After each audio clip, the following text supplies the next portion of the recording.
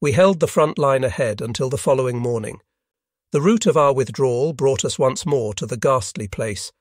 Hanging from the wrecked trucks, limbs in crazy dislocation, were the dead. Arms and legs were strewn across the terrain, their bandages fluttering in the wind. In their panic, most of the wounded had attempted to drag themselves clear on all fours, but the majority lacked strength for the effort. Their wounds had reopened and they either bled to death or their circulatory system collapsed. The radius of the killing field, littered with corpses, extended 300 metres from the train wreck. The handful of medics and doctors had done what they could. Hope grew at our approach. A group of 50 German riflemen, half of them in need of proper medical attention themselves. The Russians were hot on our heels and would arrive within the hour.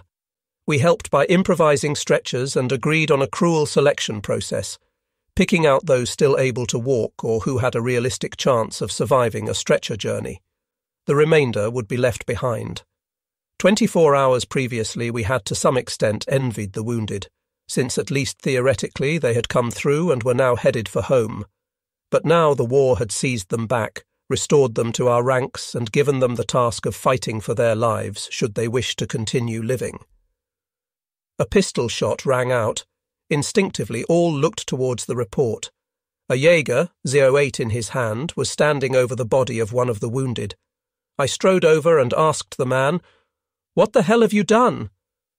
With a sob, he sank to his knees, and it was a few minutes before he composed himself enough to reply. I looked at the body of his friend and neighbour, both legs amputated, the stumps ripped apart and bleeding, the upper torso riddled with steel splinters. It was incredible that he had survived so long with such injuries. The man knew he would be left behind to fall into Russian hands. When the two friends met, he had pleaded for a last act of friendship, a bullet to bring his suffering to an end. He implored so passionately that his friend fulfilled his request. This kind of thing was absolutely contrary to regulations. As we trudged away from the grim location, we hoped that the Russians, when they arrived, would care for the wounded or at least put them swiftly out of their misery. It was an awful lot to expect. Often they tortured the wounded, and had there been no surgeons present, very possibly we would have performed a kindness for all the living we had to leave behind. I prepared my sniper's rifle and brought up the rear about 500 metres behind the main group. We had been no more than 30 minutes on the march when I became aware of a Russian assault troop not far behind. I concealed myself amongst undergrowth and rested the barrel of my rifle on the thick forked branch of a tree. My field of fire was obstructed by bushes which the Russians used skilfully for cover. Routine, intuition, and the feel for a situation inbred in the born hunter paid off in such situations. At 150 metres, I identified the platoon leader, lined the cross wires of the telescopic sight at his chest, and watched his passage through the dense vegetation. The right moment came. For a second or so, he was exposed between bushes. I squeezed the trigger and saw the impact of the projectile hurtle him backwards into the brush. His platoon was sufficiently astute to recognize the work of a sniper and sprayed out in all directions for cover. I got off two more rounds without definite result, although one hit a field flask and kept all of them low for the next half hour gaining precious time for my retreating group. Once I rejoined them to report my success, a number of riflemen volunteered to protect the rear of our column with me, and to my surprise, by evening we had remained undetected. During the night, our path coincided with that of another Jaeger battalion. This provided us with a formation of respectable numbers, and we soon received a signal ordering us to dig in and stem the Russian advance for as long as possible. A sharpshooter whom I knew only by repute was Josef Roth, a Nuremberger of my own age who had volunteered for the Gebirgsjäger, and on his own initiative practiced with a captured Russian rifle, as I had done, and found employment as a sniper. I sought him out from among the other battalion, and we got on handsomely from the start. The battalion commander knew how important it was to have snipers integrated into the defensive pattern, and allowed us a free hand. While the other riflemen dug trenches, Joseph and I carried out a joint reconnaissance of the terrain, and then settled down to work out our plan. We agreed that two experts working as a pair were better than marksmen operating singly. For three days, the weather had been dry, with temperatures slightly above freezing. Towards eight next morning, a shot whipped into the trench diggers. A private soldier crumpled up, screaming. Like greased lightning, the others all threw themselves to the ground, bar one, who dithered a split second, debating whether he should help his fallen friend. He would never have heard the bullet which entered his skull behind the left ear and exited through the right eye, leaving a hole the size of a fist. Somebody yelled, Achtung, snipers! From their sentinel nests, the MG gunners poured streams of fire in the general direction of the presumed sniper, but without apparent effect. Joseph and I were still discussing our arrangements at battalion command when a breathless dispatch runner arrived to blurt out his report of events. The commander looked up. Well, Jager, you know your duty, solve the problem. At a trot, keeping carefully to cover, we followed the runner to a recently finished stretch of trench where a sergeant elaborated the details. A shallow gallery led from one end of the trench into a skilfully concealed observation post amongst a clump of bushes. From this lookout position, we scrutinized the terrain for all possible sniper hides, but failed to identify a spot even though we were suspicious of one particular region, because it matched the angle of fire at the end of which our two comrades had been felled. We kept a watch in vain for hours.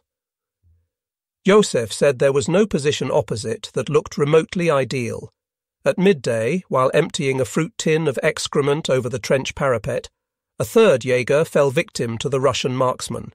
He was somewhat luckier twice over than the other two, however, for the projectile was deflected from the rim of his steel helmet into his upper arm, where it opened a gaping wound only. Contrary to practice, the Russian had not used an explosive bullet. At that very moment, Joseph and I were observing the enemy front line through binoculars we both noticed how the tall grass fronting a low undulation parted briefly under the pressure wave of the shot. We had to admire the ingenuity of our opponent in creating such a neat lair. He must have burrowed through the elevation from the back. The question was, did he have enough experience to abandon the position, or would he stay? The latter seemed more likely, since all three of our victims had been hit from roughly the same direction. We had to get him to show himself and decided on the use of a lure. Joseph would take up a position about 50 metres along the trench while I remained in the observation post. We would aim and fire simultaneously at the spot where the grass moved. A scarecrow dressed in camouflage jacket and peaked field cap was prepared, and while sneaking to his position, Joseph handed the scarecrow to a rifleman halfway along with the instruction that in exactly ten minutes' time it was to be raised cautiously until the field cap was visible above the parapet. Our two rifles were focused on the presumed hide of the Russian sniper, waiting for the scarecrow to make his debut. When it rose, the Soviet made his fatal error. He was overconfident, and that was what killed him. Clearly, he had already dismissed from his mind the idea of a lure, and was therefore not even certain of his target when he fired from an unchanged position. Hardly had his shot rang out than we replied, each using one of our precious captured explosive rounds.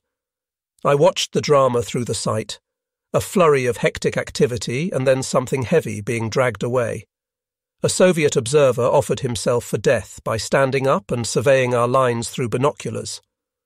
Both bullets drilled into his head simultaneously, exploding it like an overripe pumpkin. His binoculars dropped to his chest undamaged. Now it was the turn of the Russians to cower in their dugouts, enabling our diggers to resume their excavations. Branching forward from our front line at various distances along its length were shallow communication trenches leading to a pair of MG nests. Joseph and I designed and dug six well camouflaged hides, three each, the most forward locations being situated between each MG position. This allowed us to cover no man's land in such a way that no area was obscured from our field of fire. Our plan was to keep up a lethal crossfire until the advancing Russian infantry was at 100 metres, then change to shooting directly ahead. Further down each branch were two more rearward positions for the contingency that we were spotted.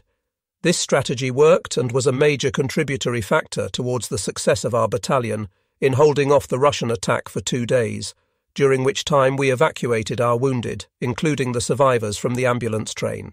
The pressure on the Nikopol bridgehead was soon irresistible, and a new encirclement began to threaten. The merged battalions were parted in the general reorganisation.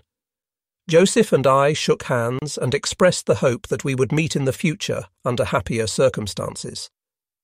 Our cooperation had proved that having a specialist observer alongside could be a decisive factor.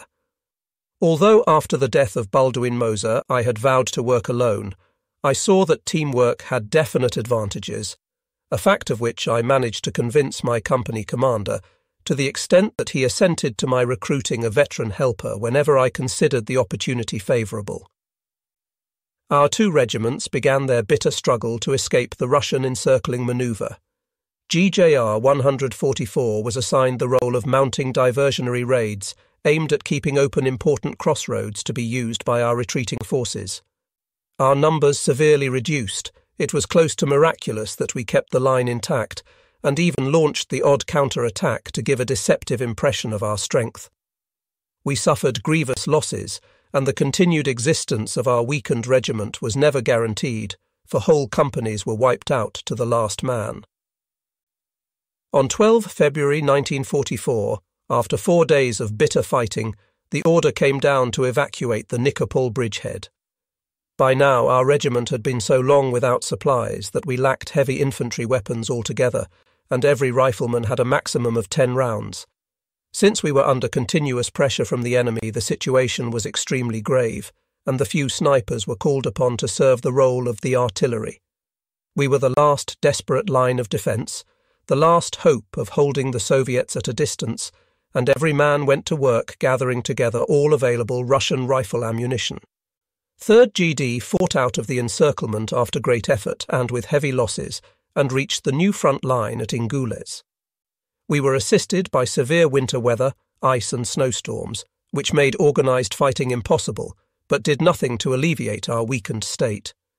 In apathy, we staggered across the flat steppe, ice crystals adhering to pinched features like needles. The Celsius thermometer read 50 below zero. Whoever stopped moving or fell in exhaustion had deadly frostbite within minutes. The hobnailed soles of our mountain boots were a conduit for the cold. If one had sweaty socks, often the skin would freeze to the boot, and then the wearer could only creep forward. The medics could do nothing to help because all liquid medications were frozen in their containers although for the worst cases they always kept some morphine ampules available in their mouths. Wounds froze at once and became gangrenous. Fights broke out for possession of winter clothing found on stiff frozen Russian corpses. Happy the man who emerged wealthier by a snow hat or fur boots. Remorselessly the battalion pressed on.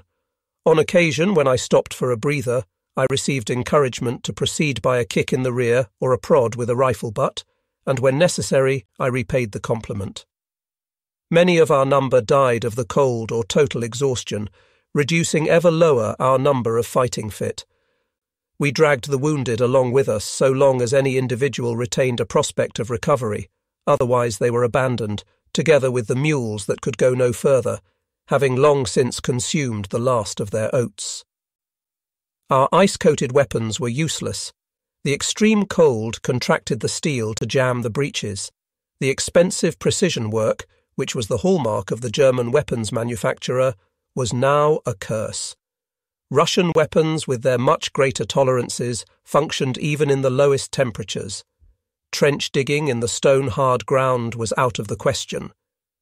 Driven on by the instinct to survive, we dragged our way through the pitiless steppe as the snowstorm grew in intensity. Numb from hunger and exhaustion, I staggered through the knee high snow, my sniper's rifle slung across my back and wrapped in a thick blanket for protection. Over my uniform, I wore a padded camouflage jacket, the large hood covering my head and face. After a while, there emerged through the impenetrable greyness of the storm the silhouette of a gutted farmhouse with a giant haystack alongside it.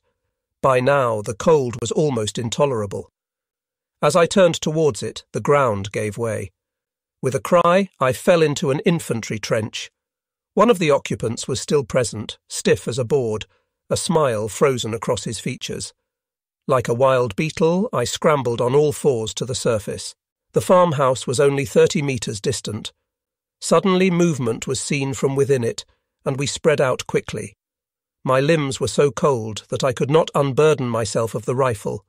Various gyrations proved unsuccessful. We were defenceless. Scraps of Russian conversation were borne to us on the wind. Fearfully, we awaited the bursts of MG fire that would spell our doom. Nothing happened. Minutes of terrible uncertainty ticked by until it was obvious. The Russians were snowbound and unable to fight. Both sides withdrew gingerly. Night came, and the storm grew fiercer. Getting under cover now meant the difference between life and death. We slunk towards the giant haystack, the only protection far and wide against the rage of nature. We had reached the point where nobody cared any more. Shelter was all that mattered. We ran the last few metres and burrowed deeply into the warming straw. Abandoning all rules of self protection and security, we huddled together like piglets and so survived. During the two days and nights when it raged with unrestrained fury, we suspended hostilities, for the haystack was the only chance of survival for the Russians as well. Unable to fight, the respective bitter enemies agreed to share the stack, separated by a central demarcation line. The storm abated on the morning of 20th February 1944, by which time our weapons were again serviceable. Nervously, we reconnoitred the giant haystack, feeling cautiously for the Russians. They had decided that discretion was the better part of valour and vanished into the night. A three man patrol, waist high in snow, inspected the farmhouse for signs of life. They came back relieved, we had the farm to ourselves. Shortly afterwards, we resumed our trudge across the endless, deathly still desert of snow towards the new strongpoint at Ingulez. We had not eaten for days and were close to collapse when we stumbled into a ruined village held by our troops from whom our regiment obtained ammunition, clothing, blankets, and food. As I was attached to battalion staff, I wallowed in the luxury of superior accommodation, insofar as there was such a thing equipped with an oven. I was dozing in a cosy corner when Hauptmann Kloss returned from a regimental briefing. Trembling with cold, he crouched before the roaring fire of the stove, then thrust his soaked boots close to the warmth. A pleasant feeling of relaxation must have crept over him, for he slumped back against the wall and was soon asleep. A short while later, when I happened to glance in his direction, I noticed smoke rising from his boots. Within a few moments, he jumped up with a cry of, Shit, that's hot, and began to hop around the room. His efforts to pull off the boots, though assisted by a runner, were unsuccessful. The wet leather had dried too quickly in the heat, and, shrinking, had moulded to his feet. The only remedy was for Kloss to sit with the boots immersed in a bucket of cold water and wait for the leather to soften and expand. To wide grins from a large assembly, the crisis was eventually overcome. Later that day, a new uniform issue was announced, and Kloss was able to exchange his leather boots for a fur lined pair. On 25th February 1944, the Russians attacked but were repulsed by the defensive barrage of a newly operational mountain artillery regiment. Meanwhile, the infantry fell back on Ingulez, where the new front line had been established. As so often in the past, it had been bungled, while officers on the spot had planned correctly for the strategic and tactical situation, OKH intervened to order the holding of utterly superfluous positions at all costs. The result was more heavy losses in men and materials, neither of which were now capable of being made good, for logistically it was no longer possible to compensate the huge drain on resources on this front, even though the lines of communication were regularly shrinking in length the military operation degenerated into a chaotic struggle to retreat in which the watchword was Sauve qui peut. The line at Ingulez was a catastrophe waiting to happen.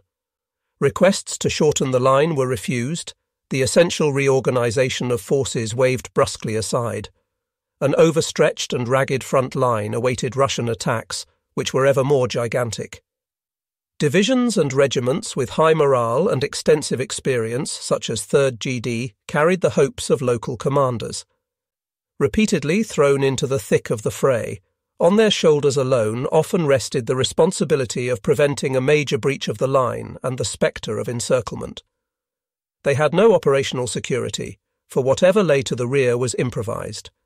The price was insufferable losses in men and materials. On 1st March 1944, great waves of Russian foot soldiers streamed towards the German lines. Their determination on this occasion was of especial note.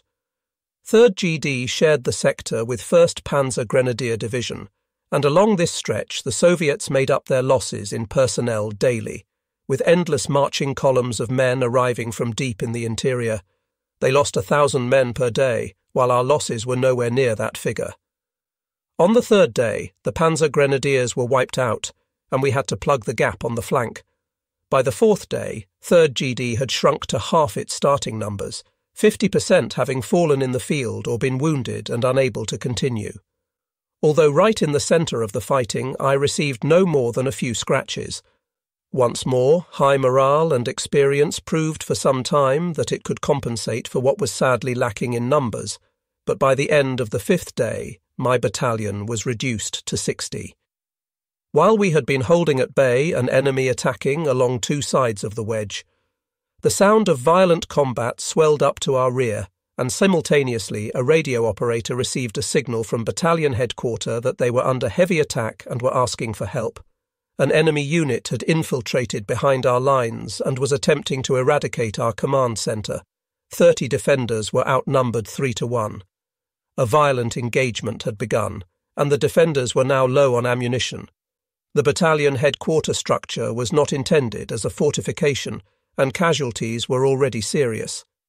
The main Russian attack on the front line was concentrated further down, so that the company commander decided to chance weakening the sector by releasing a couple of men to support the defence of battalion headquarter. This was agreed with other company commanders, who also detached a few men each. Soon the necessary battle proven platoon had been assembled, twenty of us in all, including myself and a specially chosen observer. The report from battalion headquarter had arrived at about eight in the morning. Barely an hour later, the relief platoon set off to cover the intervening 1500 metres as quickly as possible, but with due caution, and in a quarter of an hour established contact with the enemy. Battalion headquarter was set in a depression at the foot of an imposing hill, the terrain being in the main bushy upland. We did not have the strength to hold the hill, but for the Russians it was of strategic importance since from the peak they could overlook the German positions. The defenders had withdrawn to the last remaining fortification and were almost out of ammunition. In response to the withering fire of the Russians, they replied with the occasional rifle round. The area surrounding battalion headquarters was strewn with the dead of both sides. We halted briefly to take stock. With my observer, I sought out some thick vegetation which appeared to offer excellent natural cover and a relatively good view of the proceedings. As the platoon settled in, waiting for the signal to attack, my observer sized up the Russian force. Through his binoculars, he had a very wide field of sight in comparison with that available to me through my telescopic sight, and this was bound to help me raise my score of kills significantly by precise indications of where to aim. I watched as an apparently dead German infantryman with a profusely bleeding head wound tried to push himself up with his hands and was immediately cut down by a burst of Russian MG fire. His head turned into a red mass under the rain of projectiles. Small wall of earth, ten metres right, my observer muttered. Moving my rifle, I soon had the Russian in the sight, aimed at his chest, squeezed the trigger bang, dead. Perfect shot at 150 metres. This success was the signal to attack. The platoon opened fire. My own projectiles began to eat into the enemy numbers. The skirmish was short and violent. Caught in the unexpected crossfire of platoon and sniper, and horrified by their escalating losses, the Russians lost their heads. Shooting wildly in all directions, they withdrew in disorder. Twenty made it into the undergrowth. They left eighty dead and wounded behind. There was no time for anything more. After a short discussion with the battalion headquarter survivors, we headed once again for the front. Twenty minutes later, we were in our own trenches. The battle raged for six days, almost without pause Towards its conclusion, we were so exhausted that it was easy to fall into a coma like sleep during the shortest period of inactivity. The medics made regular distributions of pervitin to keep us alert. 3rd GD held its positions until 7 March 1944, even though the Soviets crossed the Ingules River the previous day and dynamited parts of the front line. The division became a thorn in their side. To remove us, the usual infantry solution was adopted once more.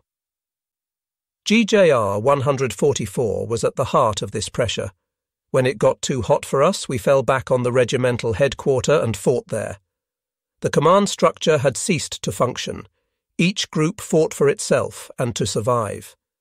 During this utter confusion, the order came to retreat across the Ingules forthwith. This was easier said than done. The Russians had more or less succeeded in isolating 3rd GD. Its line of supply no longer existed, and the main field hospital was in Soviet hands. All that remained was a defended corridor, about one kilometre in width, through which the retreat had to be funneled. These were the circumstances under which the few fighting fit survivors and walking wounded of GJR 144 embarked upon their withdrawal their numbers swollen from time to time by remnants from other units. Some of the latter included four medics who had fled the Russian assault on the main field hospital. The men were in a highly agitated state and appeared close to mental breakdown, a sign of some terrible experience. A sergeant who asked of them the whys and wherefores received such irrational garble in reply that he shrugged his shoulders in bemusement and passed them to the dressing station with orders that they should be given a meal and a shot of rum, this did the trick, and after a while they were sufficiently calm to be able to deliver an account of their chilling ordeal. We shrank in horror at what they had to tell us, and heightened our will to resist Russian captivity. Not all the wounded had been allocated a berth on the ill fated last ambulance train out of the partial encirclement. The hopeless cases had been left behind at the main field hospital under the care of a doctor and seven medics. In order to indicate that the area was hors de combat, it had been staked out with red cross and white flags, and all weapons placed in the open. It was a Mongolian unit that captured the field hospital. After moving warily from tent to tent, they surrounded the area and called upon the fascist swine inside to come out with their hands raised. The Mongols approached the medical staff nervously, weapons at the ready.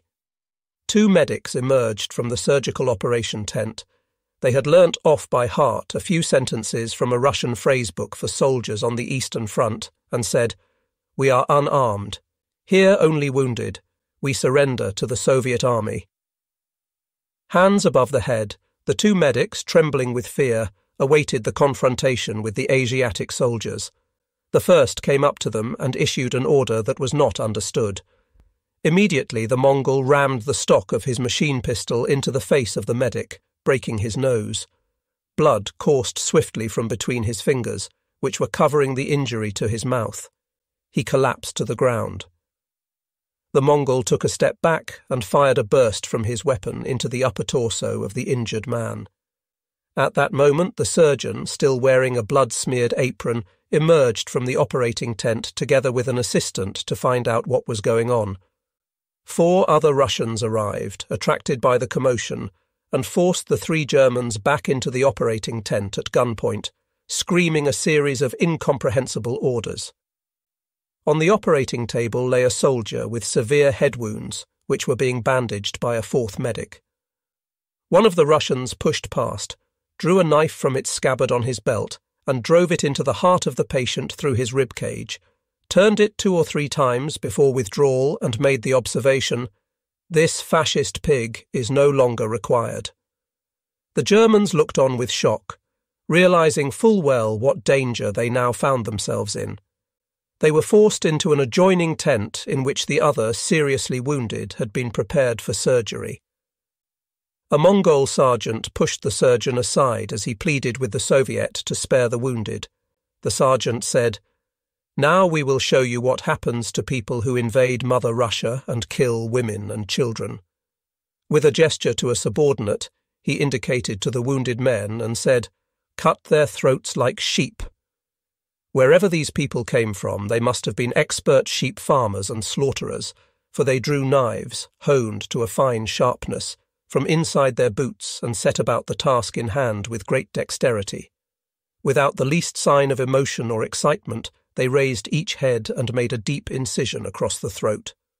The Mongols worked swiftly and expertly, and in a few minutes the operating theatre had been transformed into a human slaughterhouse. The majority did not die instantly, but bled to death where they lay. The surgeon, who confronted every day the ugliness of war, blanched and collapsed to his knees. Weakling!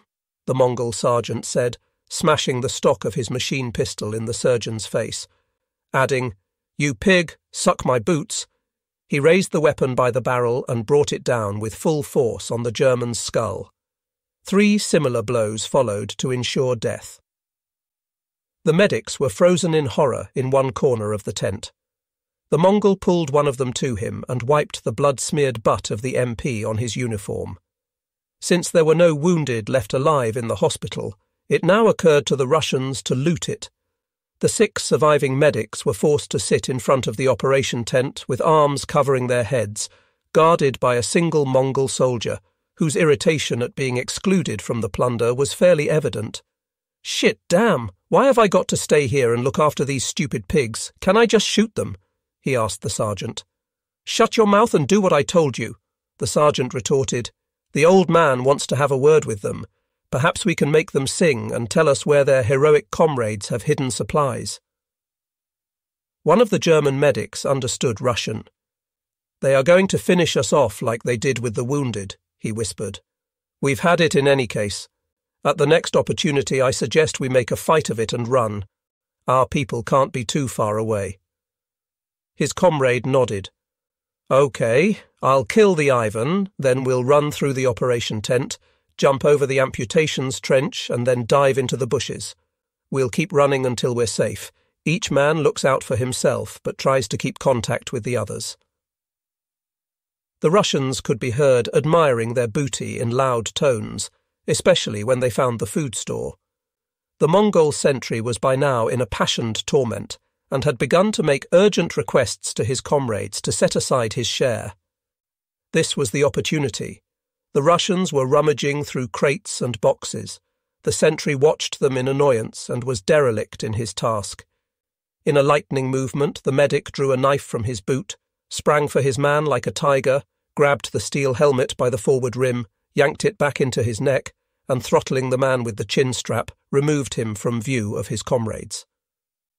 A second later, with expert anatomical knowledge, the knife went into his right kidney, where it was turned in the wound three times for maximum effect. The Russian froze with the sudden, terrible pain. The medic suppressed the man's groans by placing a hand over his mouth while lowering him to the ground. To finish the job, he should have cut the sentry's throat. His omission was to cost two more German lives, including his own. The German medics now darted through the long tent. They had not quite reached the far end when the death croak of the Mongol sentry reached the ears of his comrades. Several sprays of MP fire tore through the sailcloth of the tent. The last medic, bloody knife still in his hand, was hit and fell.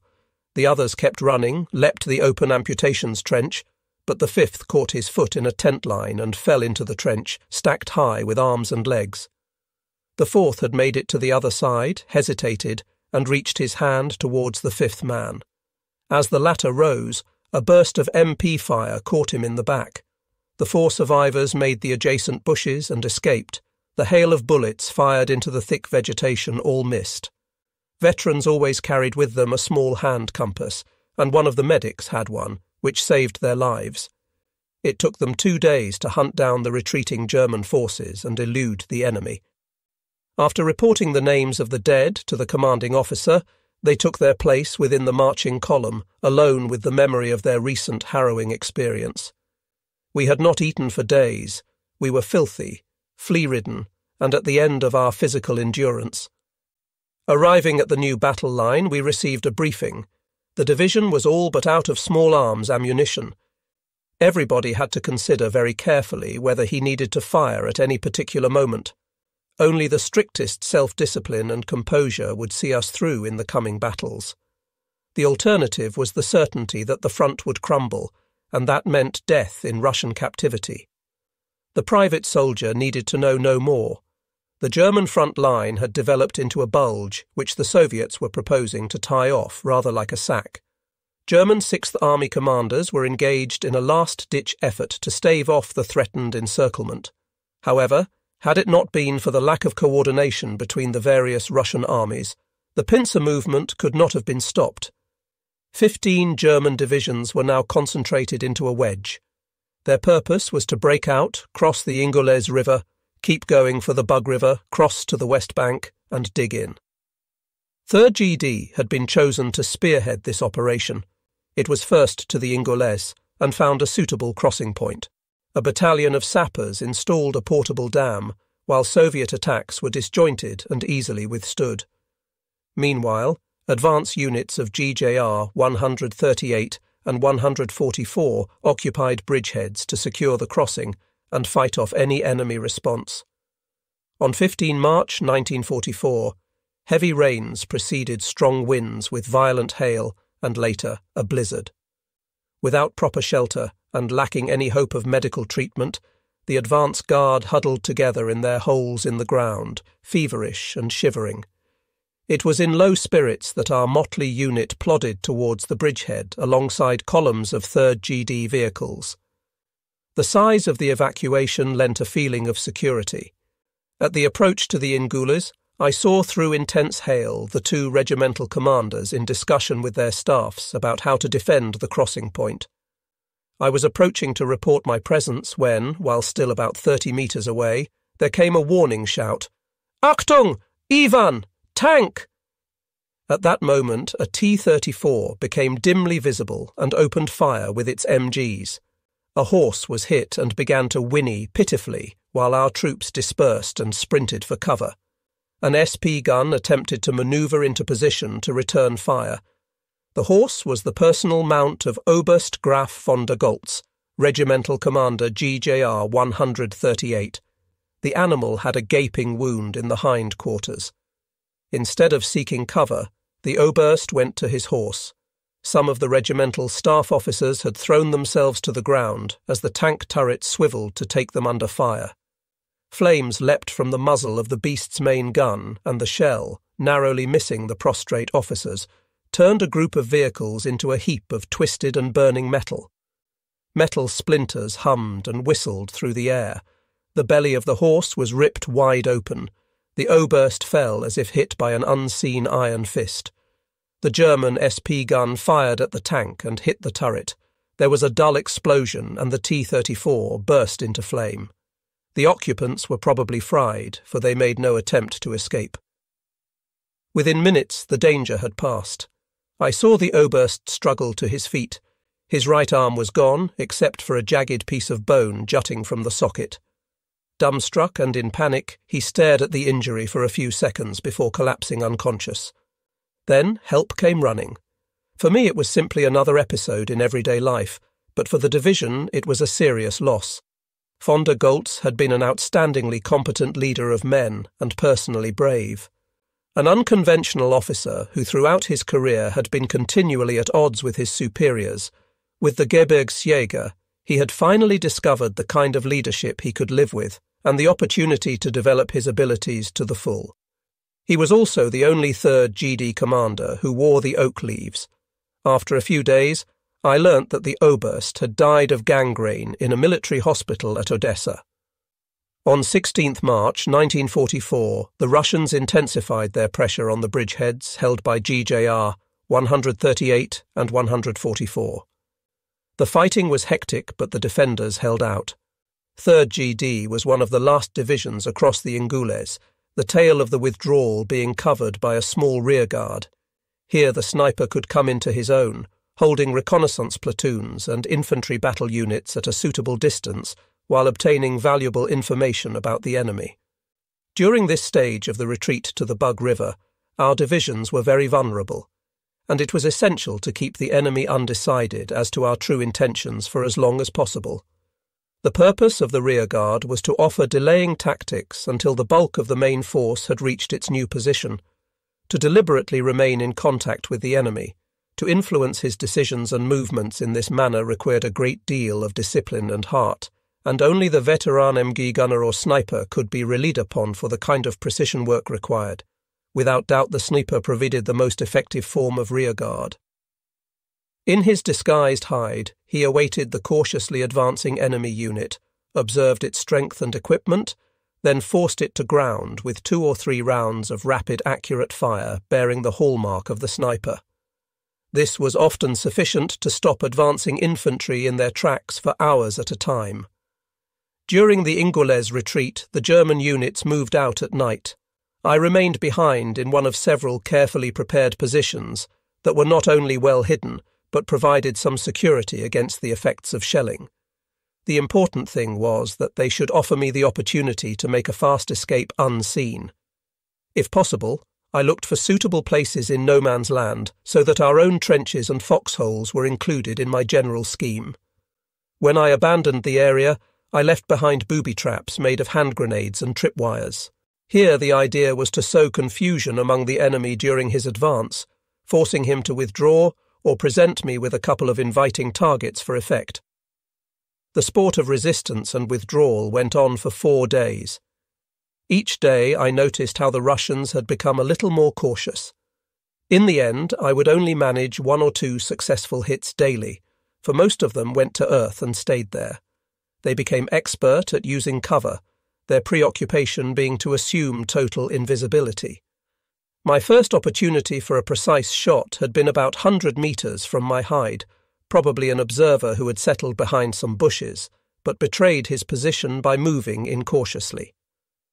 I noticed the unnatural movement of the leaves and on scrutiny through the telescopic sight made out his silhouette. I aimed at its centre. The hectic trembling of the bush twigs confirmed a hit. I waited on tenterhooks to see what the Russians did next. Nothing. All quiet on the Ingulez front. After an hour I became jittery Something was not right here. Intently I surveyed no man's land through binoculars, but found no sign of life. My muscles ached, and I felt the need for a stretch and crossed my legs. I had just laid my right foot on the left heel when I heard a rifle shot from the Russian side and felt a heavy blow to my right heel. I curled up instinctively deep in my foxhole to examine my painful injury. The entire heel had been shot off the boot, and a trail of blood was oozing over the sole. I recognised at once the handiwork of a sniper, and he must have been the best, both by his observation work and marksmanship. It had been a masterly shot. Now my own thought was survival. Since my hide had been identified, I could not afford to reveal an inch of myself, and remained low. For the moment it seemed that the Russian was uncertain. He had no knowledge about the effect of his bullet, and so we had a standoff. Nobody on the Soviet side was prepared to risk showing himself, and my closest examination of the terrain revealed no trace of my opponent. My hope was that the latter would lie low until the fall of darkness, when I could withdraw unseen. The hours dragged until eventually the onset of night freed me from the trap. I found the exit path I had marked towards the neighbouring company's sector. Next day I remained particularly alert but luckily my path did not again cross that of my Russian counterpart. A couple of days later, the rearguard reached the Bug River and crossed to the west bank unseen. Our installations on the river bank were solid and of good quality, having been set up two years earlier during the days of our eastward advance, and little extra work had been required to make them comfortable. Meanwhile, the Russians surprised us by leaving us entirely to our own devices and we spent a whole week not only recuperating, but rearming and re equipping. Even some reserves came up. It was like being on holiday. We slept eight hours per day, had regular meals and the occasional shower. But the idyll was short lived. On the night of 26th March 1944, using the cover of darkness, Russian assault troops crossed the bug unobserved and set up a bridgehead below the cliff where battalion was quartered. At first light, the band of toughened veterans stole into the trenches and overcame the sentries with knives and sharpened entrenching tools. No shots were fired, no prisoners taken. The day was saved by an alert MG gunner. Observing the opposite bank 200 metres away through binoculars, he noticed a kind of raft or float being let down into the water and quickly checked the German positions. Glimpsing for a fraction of a second the tops of two Russian helmets above the trench parapet, he raised the alarm. Shooting broke out, MPs stuttered, cries were heard. The Russian raid had been detected at last, and violent hand to hand fighting started in the trenches.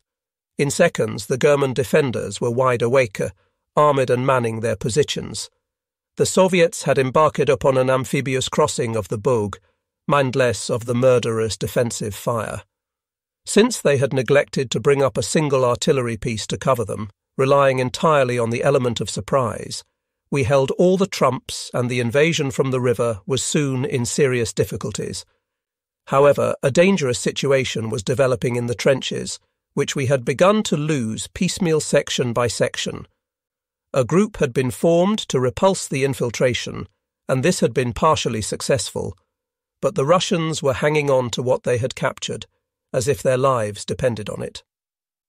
I was picking off Russians in the boats one by one when an NCO, watching the fighting in the trenches through field glasses, drew my attention to a soldier wearing a white fur cap, apparently the group commander, who was continually seen in the midst of the fighting and seemed to be animating the fierce Russian resistance. I think the fine fur cap over there is the leader. If you can knock him out, our people can finish the rest off. I knew how an officer leading his men in the thick of things could motivate people to fight, and the demoralizing effect when he fell.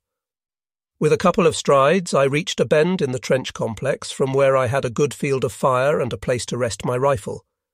With regard to the importance of the task in hand, I decided to expend one of my precious explosive rounds. These were found only rarely in captured ammunition. I prepared the weapon and awaited my chance for the fatal shot. The NCO was my observer, watching the opposite trench through his binoculars. Suddenly the fur cap appeared above the trench parapet. There, Sepp, to the right, the NCO yelled. I swung the weapon, but the target had already disappeared. Sepp, he's making to the right. Wait a bit, and you'll see the cap appear above the trench. I had worked out the rhythm of my opponent. He would soon pass across the sapper's entrance, giving me a split second to shoot him. I aimed the crosswires of the sight on the entrance at head height and awaited the decisive moment. Suddenly, 120 metres distant, the target head filled the sight, my shot rang out and hit. Through our respective optics, the NCO and I saw the white fur cap swell like a balloon, then burst like an overripe watermelon. Deprived of their commander, the Russians appeared at once confused and disoriented. Our own assault force used the opportunity to storm the occupied trenches. In the ensuing fighting, the veteran invaders were wiped out to the last man. I returned my attentions to the river-borne invasion force immediately, and my observer had taken up his carbine. The value of the sniper lies in his ability to distribute a rapid and very accurate fire. The infantry aboard the boats and floats, recognizing that they posed an easy target from the shore, had disembarked very early from the craft in the effort to escape the withering fire. Firing at the heads in the water was just target practice for the sniper. The Russians gave no heed to casualties, and the water was red with their blood, rather like the waste drain at a slaughterhouse. A bloody broth of corpses, limbs, and internal body organs drifted gently down the stream towards the Black Sea.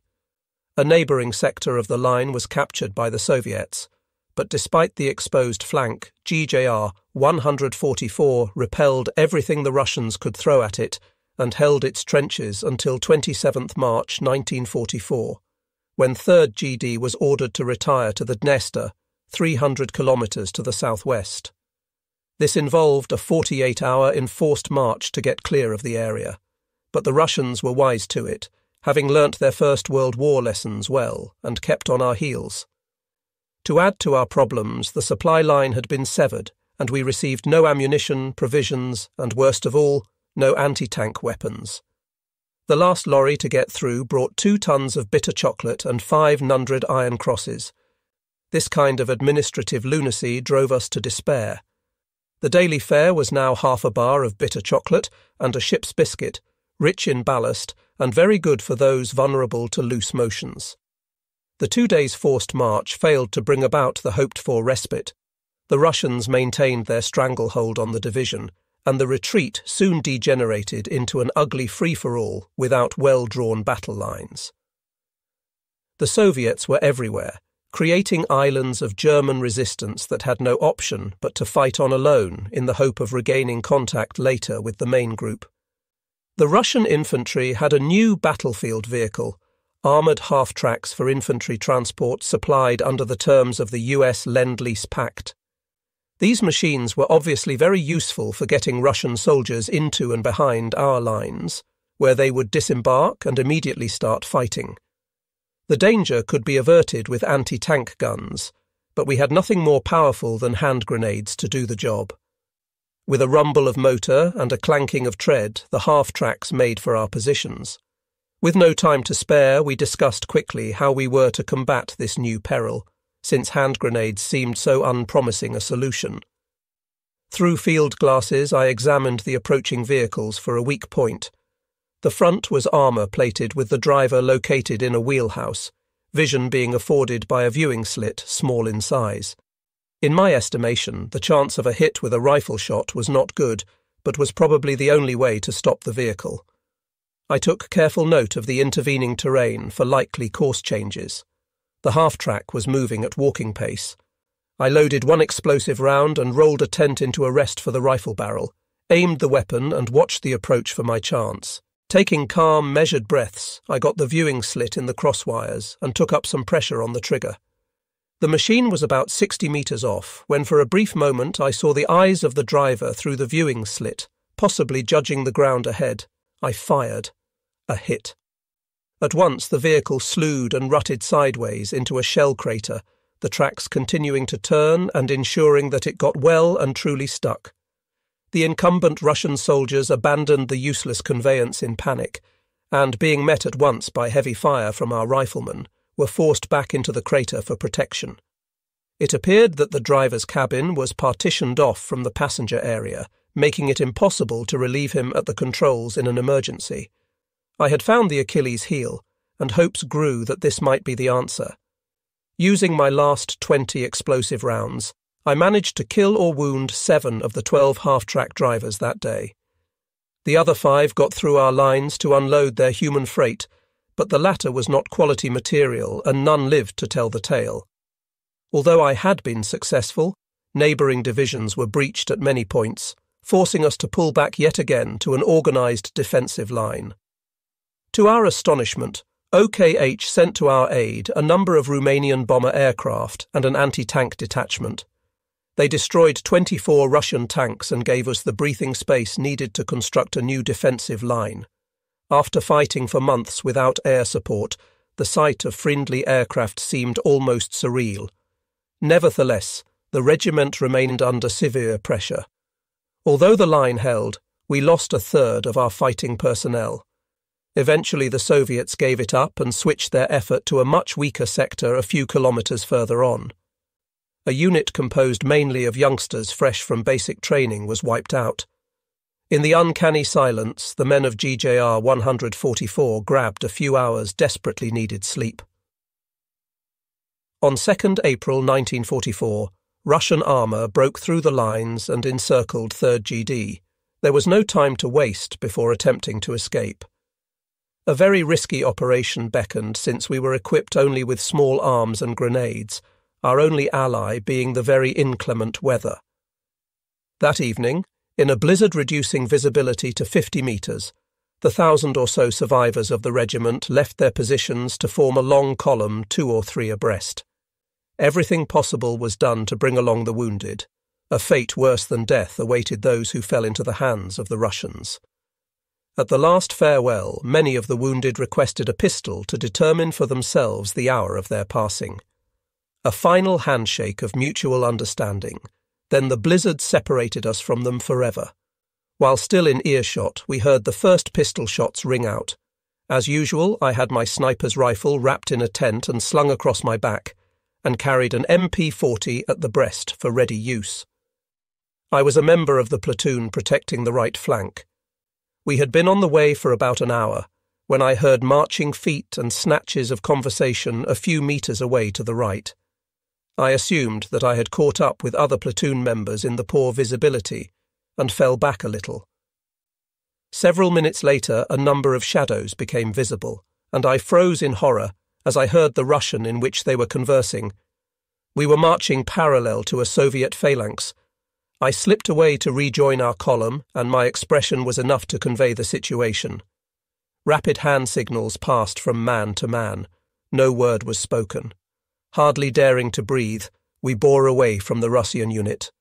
A short while later, but still enveloped in the darkness of early morning, the division came to a busy highway that crossed our direction of retreat.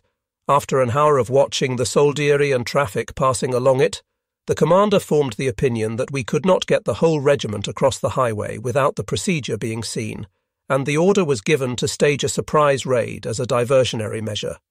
The assault platoon, five veterans, and myself lurked in the vegetation watching the passage of a supply column. Using a 40 metre gap between lorries, we sprang out a few metres in front of the oncoming vehicle and sprayed the driver's cab with a burst of MP 40 fire. Two of us lobbed grenades into the interior from the rear. The lorry sheered towards the undergrowth, and as the grenades exploded, came to a rest at an angle straddling a ditch. The cab door opened, and in the pale light of the burning interior, the driver stood for a brief moment, streaming blood and gurgling, before pitching face forward to the ground. At once we switched attention to the next lorry while the various companies of our regiment scurried across the highway. Within a few minutes the darkness had swallowed them up. We suffered no casualties. After regrouping, we continued our trudge towards the estuary of the Kutchurgan River.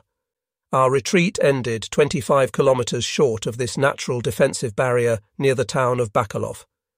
Russian armour had already taken it and encircled five German divisions 3rd GD and 17, 258, 294, and 302 infantry divisions in the process. The pocket was 8 kilometres long by 4 broad. Bakalov town was along the western perimeter, the highest topographical point being 140 metres. The German units were in a desperate plight battalions being composed of half strength companies armed only with light infantry weapons and grenades. The men were starving and in poor physical condition, but the fear of falling into Russian hands had concentrated their minds powerfully. Wittmann, commanding General 3rd GD, was in overall command, his immediate priority being to break out of the encirclement and reach the German lines along the west bank of the Kutchurgan.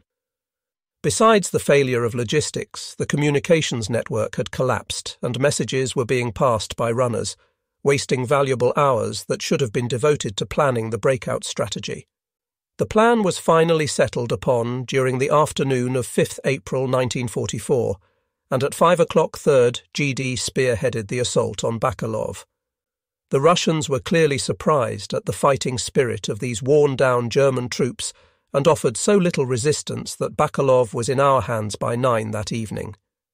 GJR 144 took over a small village a few kilometres west of the town. This strategy had come into being following the receipt of information regarding a second encirclement nearby, of which 24 Army Corps was the victim.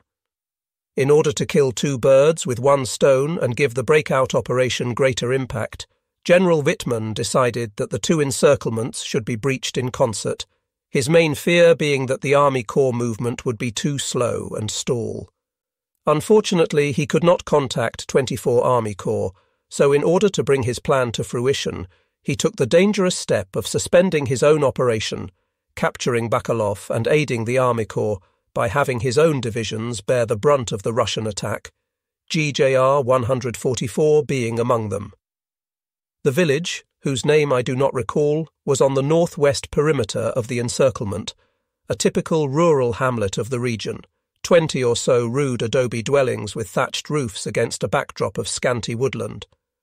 Together with ten riflemen, I took possession of the ruins of an outlying farmhouse and prepared four hides with good cover and field of fire, special care being paid to rapid and protected movement between the five sites.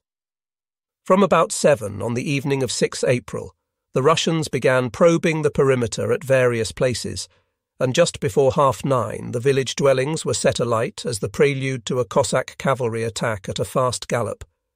Highly mobile, they were quickly up to our positions, and in the flickering light of the fires it was almost impossible to get a clear shot at the riders. Accordingly, no matter how much we regretted it, we had to target the horses.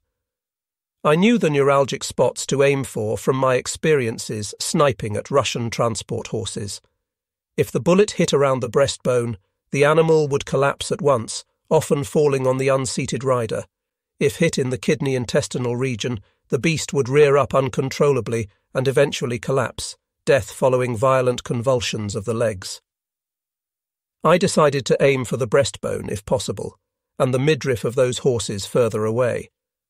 The riflemen of my platoon would then pick off the Cossacks at leisure,